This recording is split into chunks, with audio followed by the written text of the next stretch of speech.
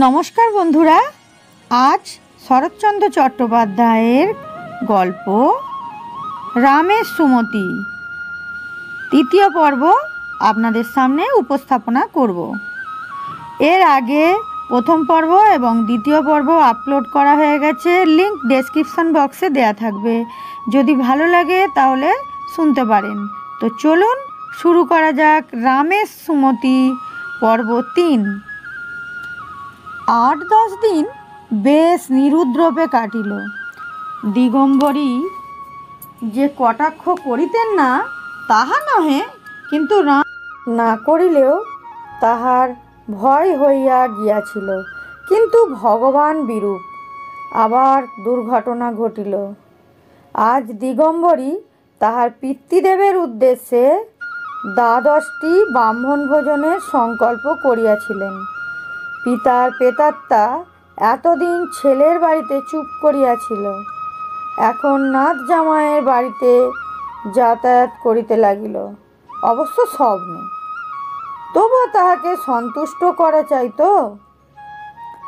সকালবেলা রাম আঁক কষিতেছিল।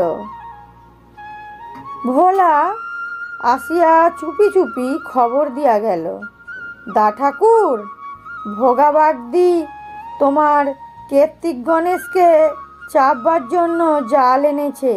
দেখবে এসো? একটু বুঝাইয়া বলি, বহুদিনের পুরাতন, গোটা দুই খুব বড় গোছে রুই মাছ ঘাটের কাছে সর্বদাই ঘুরাইয়া, ঘুরিয়া বেড়াইতো।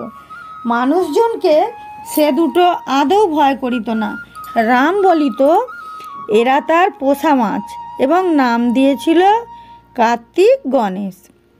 এ পাড়ায় এমন কেউ ছিল না যে ব্যক্তি কার্তিক গণেশের অসাধারণ রূপগুণের বিবরণ রামের কাছে শোনে নাই এবং তাহার অনুরোধে একবার দেখিতে আসে নাই। কি যে তাহাদের বিশেষত্ব, তাহা কেবল সেই জানিত। এবং কে কার্তিক, কে গণেশ, শুধু সেই চিনিত। ভোলাও সব সময় ঠাহর করিতে পারিত না, বলিয়া রামের কাছে কানমলা খাইত। নারায়ণী হাসিয়া বলিতেন, রামের কার্তিক গণেশ, কাজে লাগবে আমার সাধ্যের সময়। ভোলার খবরটা রামকে কিছুমাত্র বিচলিত করিল না। সে স্লেটের ওপর ঝুঁকিয়া পড়িয়া বলিল, একবার চেপে মজা দেখুক না। জাল ছিঁড়ে তারা বেরিয়ে যাবে। ভোলা কহিল, না দা ঠাকুর, আমাদের জাল নয়। ভোগা জেলেদের মোটা জাল চেয়ে এনেছে, সে ছিঁড়বে না। রাম স্লেট রাখিয়া বলিল, চল চল দেখি। পুকুর পাড় ধারে আসিয়া দেখিল, তাহারা কার্তিক গণেশের বিরুদ্ধে সত্যই ষড়যন্ত্র চলিতেছে তাহাদের। ভোগা ঘাটে কাছে জলে কতকগুলো মুড়ি ভাসাইয়া দিয়া জাল উদ্যত করিয়া প্রস্তুত হইয়া আছে।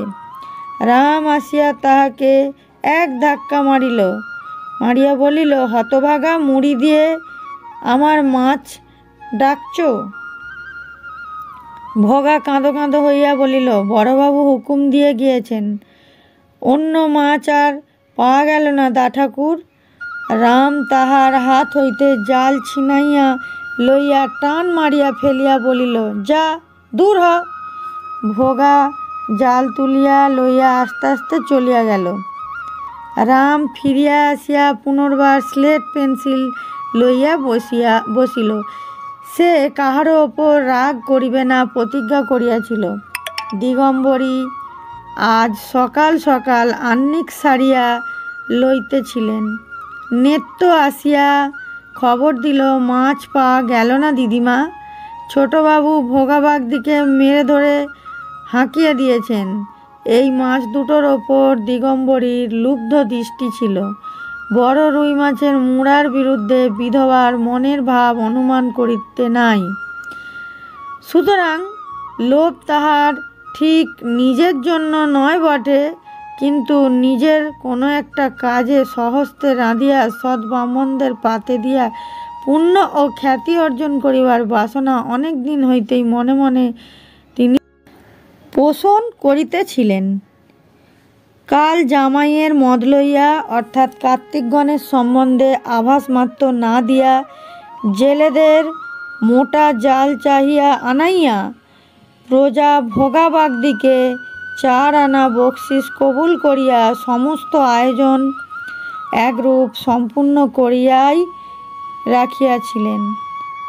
আজ সকালেও সেই দুইটা প্রাণীকে ঘাটের ধারে ঘুরিতে ফিরিতে দেখিয়া আসিয়া নিশ্চিন্ত হৃষ্ট চিত্তে জপে বসিয়াছিলেন। এমন সময় এরূপ দুঃসংবাদ তাহাকে হিতাহিত জ্ঞানশূন্য করিয়া তুলিল। তাহার দাঁত কিরমির করা অভ্যাস ছিল।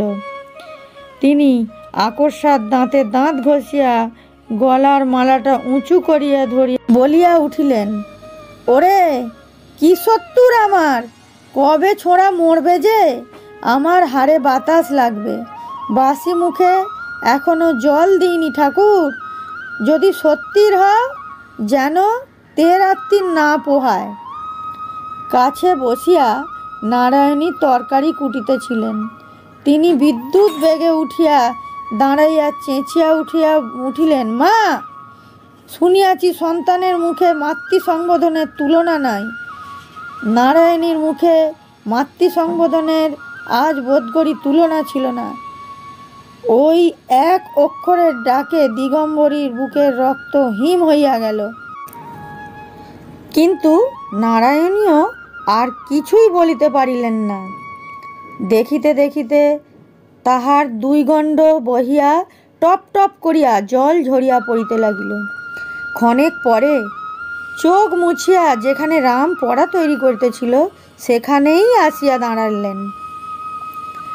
কঠোর স্বরে প্রশ্ন করিয়া করিলেন, তুই ভগাবাগদিকে মেরে ধরে হাঁকিয়ে দিয়েছিস? রাম চমকাইয়া স্লেট হইতে উঠিয়া মুখ তুলিয়া এক মুহূর্ত তাহার মুখের পানে চাহিয়া দেখিল এবং জবাব দিবার লেশ মাত্র চেষ্টা না করিয়া ওদিকে দরজা দিয়ে ঊর্ধ্বশ্বাসে পলায়ন করিল। নারায়ণী, ভিতরের কথা জানিতে পারিলেন না। ফিরিয়া আসিয়া ভগা বাগদিকে ডাকাইয়া আনিলেন এবং মাছ ধরিয়া আনিতে হুকুম দিলেন।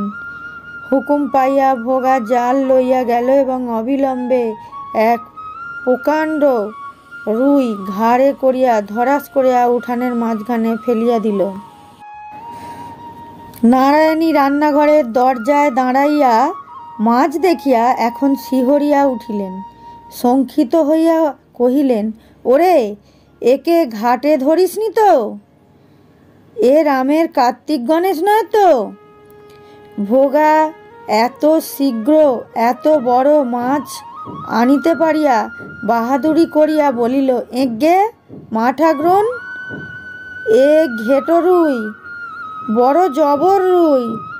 দিগম্বরীকে আঙুল দিয়া দেখাইয়া বলিল, ও মা ঠাকরুন, এনাকেই ধরতে বলা দিচ্ছিল। নারায়ণী স্তম্ভিত হইয়া দাঁড়াইয়া রহিলেন। নিত্যকালী, যদিও রামের ওপর খুব সদয় নহে, তবুও মাছ দেখিয়া সে রাগিয়া উঠিল। দিগম্বরীকে বলিল আচ্ছা দিদিমা, পাড়ার লোকে জানে ছোটবাবুর কার্তিক গণেশের কথা। তুমি কি বলে এ মাছ ধরতে বলে দিলে? দু তিনটে পুকুরে কি আর মাছ ছিল না? দশটা লোক খাবে। তা একটা আধমনি মাছই বা কী হবে? লুকিয়ে ফেলো একে। কোথায় গেছে তিনি? এখনই এসে পড়বে। দিগম্বরী মুখ ভারী করিয়া বলিলেন, জানি না বাপু অত শত একটা মাছ ধরেছে তো সাত গোষ্ঠী মিলে করছে কি? দেখো না। একে লুকিয়ে ফেলবি, বামুন খাবে না? নেত্য বলিল, তোমার বামুন খাবে দুটো আড়াইটার সময়, ঢের সময় আছে। ছোটবাবু আগে স্কুলে যাক, না হলে আজ আর কেউ বাঁচবে না। ও মা, ভোলা এই যে দাঁড়িয়েছিল, সে কোথায় গেল? সে বুঝি তবে খবর দিতে ছুটেছে। যা হয় মা করো, আর দাঁড়িয়ে থেকো না। ভোগা চার আনা পয়সার লোভে জাল চাহিয়া আনিয়া ব্যাপার দেখিয়া নগদ আদায়ের আশা ছাড়িয়া জাল লইয়া প্রস্থান করিল। প্রয়োজন হইলে কখন কোন স্থানে রামকে পাওয়া যাইবে, ভোলা তাহা জানিত। সে ছুটিয়া গিয়া বাগানের উত্তর ধারের পিয়ারা তলায় আসিয়া উপস্থিত হইল। রাম একটা ডালের ওপর বসিয়া পা ঝুলাইয়া পিয়ারা চিবাইতেছিল। ভোলা হাঁপাইতে হাঁপাইতে বলিল, দেখবে এসো দা ঠাকুর, ভোগা তোমার কার্তিককে মেরেছে। রাম চিবনো বন্ধ করিয়া বলিল, যা, সত্যি দা ঠাকুর, মা হুকুম দিয়েছে, ধরিয়েছে। এখনও উঠোনে পড়ে আছে, দেখবে চলো। রাম ঝুপ করিয়া, লাফাইয়া পড়িয়া দৌড়িল এবং ঝড়ের বেগে ছুটিয়া আসাইয়া, আসিয়া উঠানের মাঝখানে একবার থমকিয়া দাঁড়াইয়া চিৎকার করিয়া উঠিল, ওগো, এই তো আমার গণেশ, বৌদি তুমি হুকুম দিয়ে আমার গণেশকে ধরালে? বলেয়াই মাটির ওপর উপর হইয়া পড়িয়া কাটা ছাগলের মতো সে পা ছুঁড়িতে লাগিল। শোকটা যে তাহার কিরূপ সত্য, কিরূপ দুর্গম, সে বিষয়ে দিগম্বরী বোধ হয় সংশয় রহিল না। তাহাকে খাইবার জন্য রাত্রে নারায়ণী টানাটানি করিতে লাগলেন। রাম তাহার হাত ছুঁড়িয়া সরাইয়া দিল এবং সমস্ত দিন উপবাসের পর গোটা পাঁচ ছয় ভাত মুখে দিয়া উঠিয়া গেল। দিগম্বরী আড়ালে দাঁড়াইয়া জামাইকে বলিলেন, তুমি একবার বলো, না হলে নারায়ণী খাবে না, সে সারাদিন উপোস করে আছে। শ্যামলাল জিজ্ঞাসা করিলেন, উপোস কেন? দিগম্বরী কান্নার অভাবে কণ্ঠস্বর করুণ করিয়া বলিলেন, আমার একশো ঘাট হয়েছে বাবা, কিন্তু কেমন করে জানব বলো? পুকুর থেকে বামুন ভোজনের জন্য একটা মাছ ধরালে মহাভারত অশুদ্ধ হয়ে যাবে। শ্যামলাল বুঝিতে না পারিয়া ডাকিলেন নেত্য কি হয়েছে রে? নেত্য আড়াল হইতে বলিল, সেটা ছোটবাবুর গণেশ। শ্যামলাল চমকিত হইয়া বলিয়া উঠিলেন রেমোর গণেশ, কার্তিক গণেশের একটা নাকি? নেত্য বলিল হ্যাঁ। আর বলিতে হইল না। তিনি আগাগোড়া ব্যাপারটা বুঝিয়া লইলেন, বলিলেন, রাম খায়নি বুঝি? নেত্য বলিল, না। শ্যামলাল বলিলেন, তবে আর খেতে বলে কি হবে? সে খায়নি আর ও খাবে? দিগম্বরী বলিতে লাগিলেন, এমন কাণ্ড হবে জানলে বামুন খাওয়ানোর কথাও তুলতাম না বাবা। ও নিজেই কেন বা হুকুম দিয়ে মাছ ধরালে কেনই বা এমন ধারা করছে তা সেও ওই জানে। আমি তো চুপ করেই ছিলুম, তবু সব দোষ আমারই। যেন আমাদের না হয় আর কোথাও পাঠিয়ে দিও বাবা, এখানে আর একদণ্ড থাকতে ভরসা হয় না।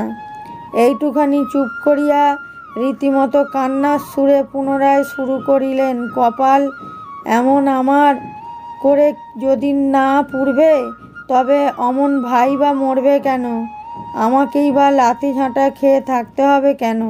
বাবা, আমরা নিতান্তই নিরুপায়, তাই হাত জোর করে বলছি, আমাদের একটা কিছু উপায় তোমাকে করে দিতেই হবে। শ্যামলাল ব্যস্ত হইয়া উঠিলেন, কিন্তু হ্যাঁ না কিছুই বলিতে পারিলেন না।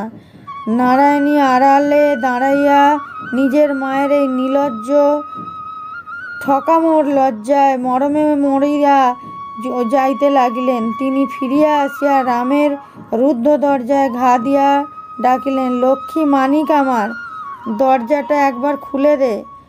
রাম জাগিয়াছিল, সাড়া দিল না। নারায়ণী আবার ডাকিলেন ওট দোর খোল। এবারে চেঁচাইয়া বলিল, না খুলব না। তুমি যাও, তোমরা সবাই আমার শত্রুর। আচ্ছা তাই? তুই দোর খোল। না না না, আমি খুলব না।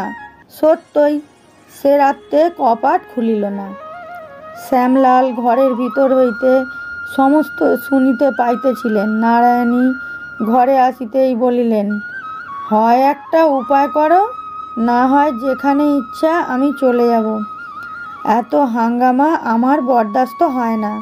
নারায়ণী নিরুত্তর হইয়া ভাবিতে লাগিলেন। তাহার পর দু তিন দিন কাটিয়া গেলেও যখন রামের রাগ পড়িতে চাহিল না, তখন নারায়ণী ভিতরে ভিতরে ক্ষুব্ধ বিরক্ত হইয়া উঠিতে লাগিলেন। আজ সন্ধ্যা হয়, তবু সে স্কুল হইতে ফিরিল ফিরিল না, দেখিয়া নারায়ণী উৎকণ্ঠিত ক্রোধে অধীর হইয়া উঠিতেছেন।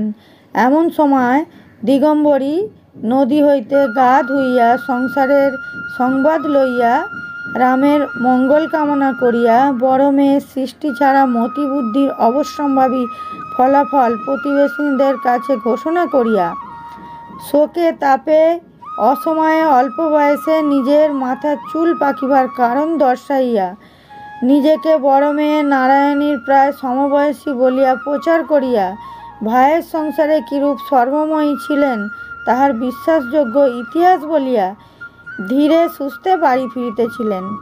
এমন সময় অতিমধ্যে এক কাণ্ড শুনিয়া তিনি যেন বাতাসে উড়িতে উড়িতে বাড়ি আসিয়া পৌঁছলেন। উঠানে পা দিয়াই উচ্চকণ্ঠে বলিয়া উঠিলেন, তোর গুণধর দেওরের কাণ্ড শুনেছিস নারায়ণী? নারায়ণী ভয়ে বিবর্ণ হইয়া গিয়া বলিলেন, কি কাণ্ড? দিগম্বরী বলিলেন, তারা থানায় গেছে, যাবেই তো। যে বজ্জাত ছেলে বাবা, এমনটি সাত জন্মে দেখিনি। এখন জেলে যান। তাহার চোখে মুখে আহ্লাদ যেন উছলিয়া পড়িতে লাগিল। নারায়ণী সে কথার জবাব না দিয়া ডাকিলেন, নেত্য, রাম এখনও এলো না কেন? একবার ভোলাকে পাঠিয়ে দে, খুঁজে আনুক। দিগম্বরী বলিলেন, আমি যে সমস্তই শুনে এলুম, নেত্য শুনিবার আগ্রহে হাঁ করিয়া দাঁড়াইল। নারায়ণী তারা দিয়া উঠিলেন, দাঁড়িয়ে থাকলে, থাকলি যে, কানে কথা গেল না বুঝি? নেত্য ব্যস্ত হইয়া চলিয়া গেল। দিগম্বরী উচ্চ স্বরে উদ্বেগ টানিয়া আনিয়া বলিলেন, কি হয়েছে জানিস না রানী? তুমি ভিজে ছা, কাপড় ছাড়ো কে মা। তারপরেই না হয় বলো বলিয়া তিনি অন্যত্র চলিয়া গেলেন। দিগম্বরী অবাক হইয়া মনে মনে বলিলেন, বাস রে, মেয়ের রাগ দেখো। এমন একটা কাণ্ড আনুপূর্বিক বলিতে না পারিয়া তাহার পেট ফুলিতে লাগিল। সে কাণ্ডটা সংক্ষেপে এই, গ্রামের স্কুলে জমিদারের, জমিদারদের একটি ছেলে পড়িত। আজ টিফিনের সময় তাহার সহিত রামের তর্ক বাঁধিল। বিষয়টা জটিল, তাই মীমাংসা না হইয়া মারামারি হইয়া গেল। জমিদারদের ছেলে বলিয়া শাস্ত্রে লেখা আছে শ্মশানকালী রক্ষাকালীর চেয়ে অধিকতর জাগ্রত। কেননা শ্মশানকালীর জীব বড়। রাম প্রতিবাদ করিয়া বলিল, না শ্মশানকালীর জীব একটু চওড়া বটে, কিন্তু অত বড়ও নয়, অমন রাঙাও নয়। কিছুদিন পূর্বে পাড়ার চাঁদা করিয়া রক্ষাকালীর পূজা হইয়া গিয়াছিল। সে স্মৃতি রামের মনে উজ্জ্বল ছিল। জমিদারদের ছেলে রামের কথা অস্বীকার করিয়া নিজের করতল তুলিয়া ধরিয়া রক্ষাকালীর জীব্দ এতটুকু? রাম ক্রুদ্ধ হইয়া বলিল, কি? অতটুকু? কখনো না। এই এত বড়। অতটুকু জীব হলে কি কখনো পৃথিবী রক্ষা করতে পারে? পৃথিবী রক্ষা করে বলেই তো রক্ষাকালী নাম। তারপর আর দুই একটা কথা এবং তারপর ঘুষি ঘাসা। জমিদারদের ছেলের গায়ে জোর ছিল কম, সুতরাং সেই মার বেশি খাইল। নাক দিয়া ফোঁটা দুই রক্ত বাহির হইল। এই ক্ষুদ্র স্কুল জীবনে এত বড় কাণ্ড ইতিপূর্বে ঘটে নাই। সে যে জমিদারের স্কুল, তাহারই পুত্রের নাকে রক্ত। অতএব হেডমাস্টার নিজে স্কুল বন্ধ করিয়া ছেলেটিকে লইয়া দরবার করিতে ছুটিলেন। বলা বাহুল্য, রামলাল বহু পূর্বেই অন্তর্ধান হইয়াছিল। ভোলা ফিরিয়া আসিয়া বলিল, দা ঠাকুরকে পাওয়া গেল না। অনতিকাল পরে শ্যামলাল মুখ কালি করিয়া বাড়ি আসিয়া, আসিলেন। উঠানে দাঁড়াইয়া বলিলেন, ওগো, শুনছ? এ গ্রাম থেকে বাস ওঠাতে হবে দেখছি। চাকরি করে দু পয়সা ঘরে আনছিলুম, তাও বোধ করি এবার খুঁজল। নারায়ণীর ভাঁড় হইতে বাহির হইয়া একটা চৌকাঠে ভর করিয়া শুষ্ক কণ্ঠে জিজ্ঞাসা করিলেন তারা থানায় গেছেন, না? শ্যামলাল ঘাড় নাড়িয়া বলিলেন, বাবু শিবতুল্য লোক, তাই মাপ করেছেন। কিন্তু আরও পাঁচজন আছে তো। দিন দিন নতুন একটা ফ্যাসাদ তৈরি হলে কি গ্রামে আর বাস করি? কি বলো? রাম কই? নারায়ণী বলিলেন, সে এখনও আসেনি। বোধগড়ি ভয়ে পালিয়েছে। শ্যামলাল গম্ভীর হইয়া বলিলেন, পালালেও আর তার সঙ্গে সম্পর্ক নেই। না পালালেও নেই। সে সৎমার ছেলে, লোকে নিন্দে করবে। তাই এতদিন কোনো মতে সহ্য করেছিলাম, কিন্তু আর নয়। এখন প্রাণ, নিজের প্রাণ বাঁচাতে হবে। দিগম্বরী বারান্দায়, রান্নাঘরের বারান্দা হইতে বলিলেন নিজের ছেলেটার পানেও তো চাইতে হবে। শ্যামলাল উৎসাহিত হইয়া বলিলেন, হবে না মা, নিশ্চয়ই হবে তাই কাল পাড়ার পাঁচজন লোক ডেকে বিষয় সম্পত্তি আলাদা করে ফেলব।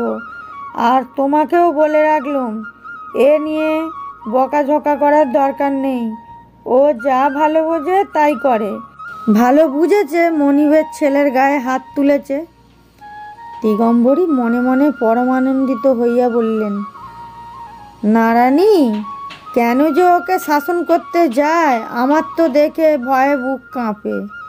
ও যা গোয়ার ছেলে, ও আমাকেই যেন অপমান, যখন অপমান করে, তখন ওকে অপমান করে ফেলবে। আর এ কি বেশি কথা? আমি বলি, মন, নিজের মান, নিজের ঠাঁই রামের কথা, কথায় থাকো না। শ্যামলাল শ্বশ্রুর এ কথায় আর সায় দিতে পারলেন না। বোধগড়ি চক্ষু লজ্জা হইল। বলিলেন, যাই হোক, ওকে শাসন করার দরকার নেই।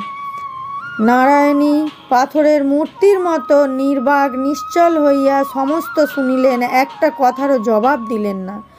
তারপর ধীরে ধীরে নিজের কাজে চলিয়া গেলেন। ঘণ্টাখানেকের পর নেত্য আসিয়া চুপি চুপি বলিল, মা, ছোটবাবু ঘরে এসেছে। নারায়ণী নিঃশব্দে উঠিয়া গিয়া রামের ঘরের মধ্যে ঢুকিয়া কপাট বন্ধ করিলেন। রাম খাটের ওপর চুপ করিয়া বসিয়া কি করিতেছিল, কি ভাবিতেছিল? দরজা বন্ধ করার শব্দে চমকিয়া মুখ তুলিয়া দেখিল, বৌদি, দর দ্বার রুদ্ধ করিয়া দিয়াছেন এবং ঘরের কোণে তাহারই একগাছা পাতলা বেতে ছড়ি দিয়া তাহাই তুলিয়া লইতেছেন। সে তৎক্ষণাৎ লাফাইয়া খাটের ওধারে গিয়ে দাঁড়াইল। নারায়ণী ডাকিলেন এদিকায় রাম হাত জোর করিয়া বলিল আর করব না বৌদি এইবারটি ছেড়ে দাও। নারায়ণী কঠিন হইয়া বলিলেন, এলে কম মারব, কিন্তু না এলে এই বেত তোমার পিঠে ভাঙব।